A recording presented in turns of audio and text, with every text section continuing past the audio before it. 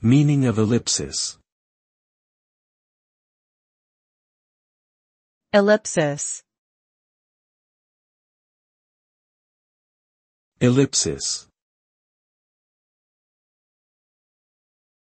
ellipsis, Ellipsis. Ellipsis is a punctuation mark that consists of three dots, used to indicate the omission or suppression of a word or phrase in a sentence. It is commonly used to create suspense, indicate a pause in a sentence, or show where words have been omitted.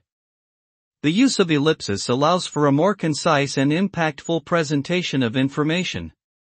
However, it can also be overused, leading to confusion or the loss of meaning in a sentence.